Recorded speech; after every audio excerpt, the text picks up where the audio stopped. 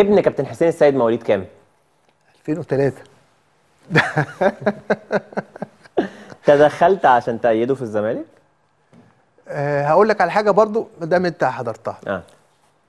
عبد الرحمن بيلعب في المقاولين وهو عنده في وادي دجلة من هو عنده سبع سنين. تمام. لغاية لما انضم المنتخب شباب 2003 مع الكابتن آه، محمود الكلام ده كان من سنتين هو ده كان في القايمة بتاعت منتخب الشباب؟ لا هو خرج وهقول لك برضو أحد أسباب آه. يعني اللي هي خرج عشانها. آه. لغاية سنتين بداية تجمع منتخب مصر ما كانش حد يعرف عبد الرحمن ده ابن مين في وادي دجلة أصلا. تمام. ما كانش يعرف حد ما حدش يعرف عبد الرحمن اسمه حسين عبد الرحمن حسين ولا عبد الرحمن السيد؟ عبد الرحمن ساعات يقولوا له حسين وعبد الرحمن السيد. تمام. وساعات أحيانا عبد الرحمن عفيفي لأن اسم العيلة عفيفي تمام. آه. فما كانش حد يعرف ان هو ابن حسين السيد. آه. لغاية اما راح منتخب مصر 2003 في التجمعات فابتدت تتعرف. وهو في وادي دجلة ف لغاية وقتنا هذا ابتدت بقى إيه أنا أنا أنا أنا لو كنت بروح ماتشات ولا كنت بتابع أنا سايبه مع نفسه آه ابتديت أتابع وأحط عيني عليه في ليا أصدقاء كده قالوا لي لا ده الولد خلاص بقى بينضم منتخب مصر تمام. أنا غصب عني ابتديت أروح أتابع وأشوف آه. وأتفرج على الماتشات فابتدينا نركز وابتدينا لما رحت نادي الزمالك هو الولد ابوه حسين السيد فهو زملكاوي بال بال بال بال بالفطرة. بالفطرة آه. فأنا قلت ليه لأ؟ ليه. ما ياخدش فرصته؟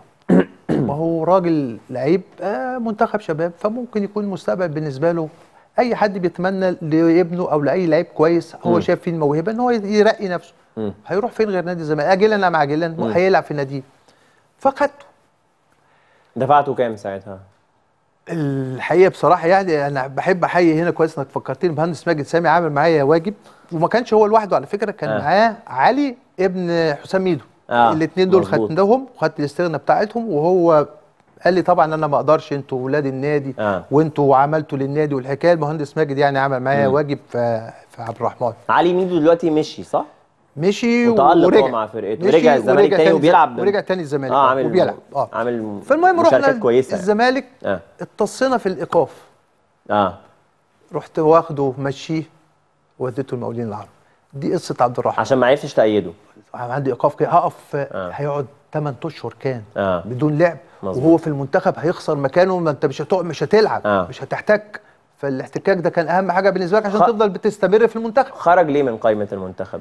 دي كانت أحد أسباب اللي هتخليني أخش على المنتخب الشباب آه. بصفة عامة أيوة. أنا لأن مش عايز أتكلم عشان عبد الرحمن خرج ليه بالتحديد. لأن آه. هو خرج أحد الأسباب اللي أنا هقولها لك دي إيه وادي دجلة قبل ما أقول بس هقول مقدمة كده في دقيقتين وادي دجلة من الجيل ده أنا زعلان له جدا جدا جدا لأن ده من أحسن أجيال الكورة اللي جت مصر جيل 2003 امم لأن أنا زي ما قلت لك أنا معاشره من سنتين أيوه واتفرجت على كل الفرق من سنتين وادي دجلة ده بس يا كابتن هاني لو تتخيل انت ممكن تتصور ان فيهم 10 لعيبة. دوليين وكان احسن من الفرق من احسن الفرق في الجيل ده برضو كان بعديه إنبي آه. كان فيه بتاع سبع ثمان لعيبة دوليين أيوه وكان الزمالك فيه ثمانية وإحنا لما رحنا عملنا لهم عقود الجيل ده كان عنده بص أقول لك على الأسامي بتاعتهم أنا حافظهم والأندية اللي رايحهم دلوقتي آه. كان في حارس مرمى أنا جاي لك